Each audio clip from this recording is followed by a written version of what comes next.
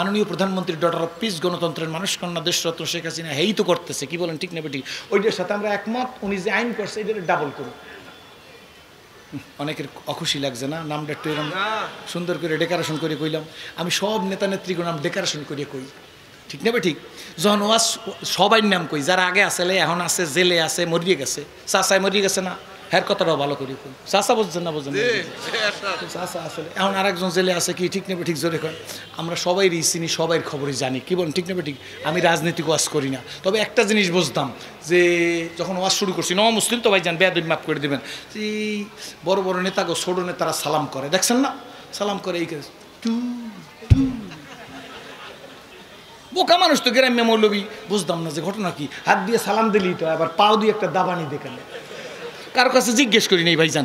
বিশ বছর ওয়াজ করছি। এই বিশ বছর ওয়াজ করার পরে আমি নিজে নিজে বুঝছি যে স্যার যতদিন ক্ষমতা আছে ইয়েস ক্ষমতা না থাকলে না।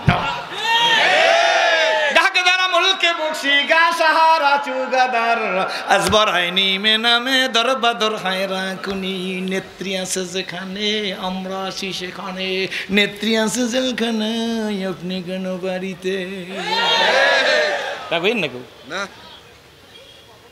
আরও একটা করব এটা যার গায়ে লাগে লাগুক। মারতে তো আর পারবেন না মেহমান না। ঠিক না ঠিক জোরে কন। কেউ কেউ স্লোগান দেন জনগণই সকল ক্ষমতার উৎস। দেখি না দেন কিনা? আমি জানতে চাই ভাই যান রাগ করবেন না জনগণ সকল ক্ষমতার উৎস স্লোগান দিয়েছেন।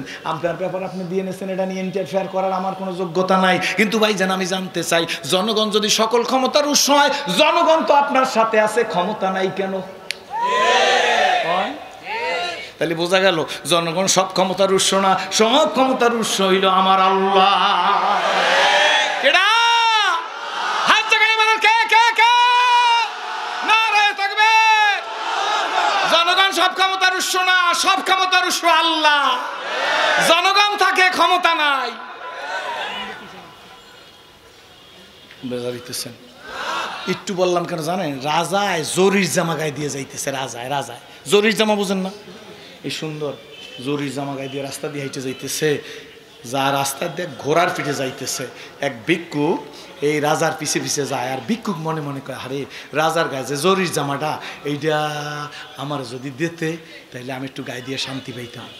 রাজা আসলে দিনদার। রাজা বাদশারা আল্লাহওয়ালা হয়। সব রাজা বাদশারা কম্পারেটিভলি কিছু আল্লাহওয়ালা হয়। কিন্তু চামচা বুঝিনি পারে না। চামচা বুঝুন তো? এটা আমাকে দক্ষিণ অঞ্চলের ভাষা। আপনারা বুঝলে বুঝলেন, না বুঝলে কী করব আমি?